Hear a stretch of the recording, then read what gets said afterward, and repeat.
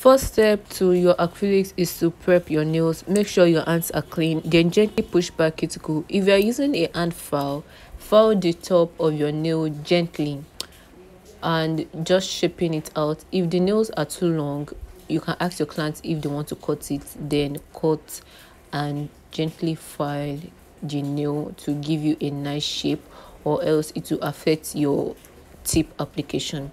So file the top of your nails and gently apply your tip.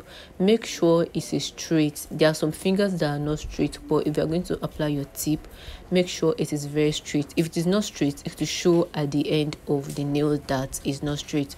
So the tips have been applied and it's been cut to equal length that the clients want. Finding the top of the tip is very important so it will lay flush with natural nails then prep with the primer. So this is prepped nail or ready for acrylics